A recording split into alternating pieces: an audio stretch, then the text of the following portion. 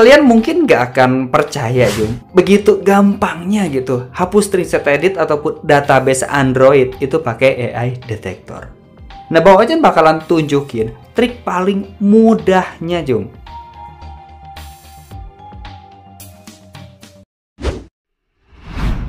Halo Jum, seperti biasa balik lagi sama gua si Ojan Jum, perusak HP subscribernya.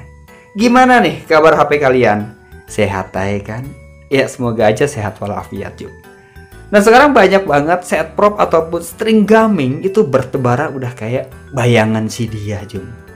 Ya meski banyak set prop gaming non root yang bisa bikin pengalaman gaming kita bisa lebih nyaman gitu ya tapi yang nggak sedikit juga string-string fake atau set prop alam baka yang malahan bikin game yang kita mainin makin drop FPS-nya. Nah yang lebih parahnya, baterai itu tiba-tiba boros banget Jum. Ya nggak apa-apa sih boros, yang penting nggak hilang. Nah penyebab kayak gitu itu karena OS yang jalan di HP kita. Ya soalnya kalau jalan sama dia pasti nggak akan mau Jum. itu nggak bisa baca database HP Android kita itu dengan lengkap Jum dan string-string fake ini penyebab CPU jadi delay bahkan nge-freeze. Nah bahkan ya kalau misalnya kalian pengguna aplikasi Magic Tweak, nah string-string fake ini bakalan terdeteksi dan kalian nggak akan bisa pakai aplikasi Magic Tweak. Ya sebenarnya sih kalian bisa aja gitu hapus string-string yang nggak guna itu pakai fitur Magic Tweak. Tapi ya kalau string yang kalian pasang itu udah tembus sampai ke langit lapis 7, ya aplikasi Magic Pick itu nggak bisa hapus karena terhalang sama OS bukan terhalang sama cinta segitiga aja ya contoh kecilnya di video Magic Pick versi 1.7.1 wow eta rame pisan jeng jadi ya kerugian pakai string ataupun set prop alam baka itu benar-benar banyak banget jeng nah makanya di sini Bang Oja nyiptain jeng anjay nyiptain sebuah file yang namanya adalah AI detector Widih, Bang, kenapa namanya AI? Nah, kenapa di sini namanya AI? Karena file ini bakalan mendeteksi semua kode-kode aneh di database HP Android kalian secara otomatis, Jum. Mulai dari string alam baka sampai ke set prop langit lapis 7. Semuanya itu bakalan disikat.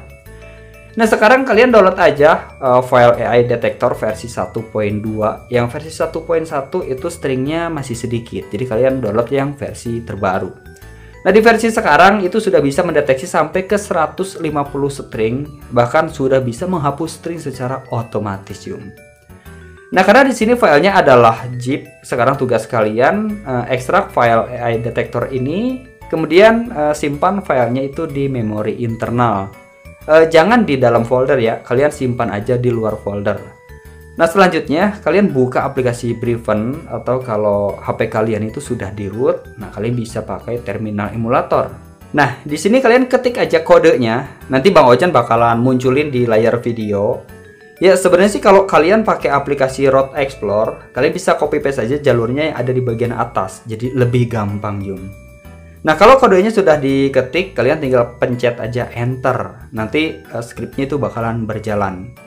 Nah di proses ini kalian diemin aja ya sampai scriptnya itu selesai. Ya, ya asal jangan diemin si dia jom nanti ngambek.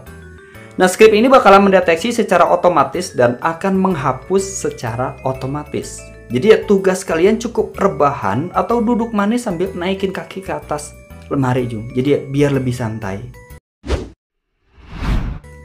Nah, di sini scriptnya itu sudah selesai. Sekarang uh, database HP Android kalian sudah bersih dari string alam baka Jum. Nah, untuk pengguna aplikasi Magic Pick sekarang aman, nggak terdeteksi pinjol lagi. Masih mau pakai string alam baka? Sok, lanjutin Jum.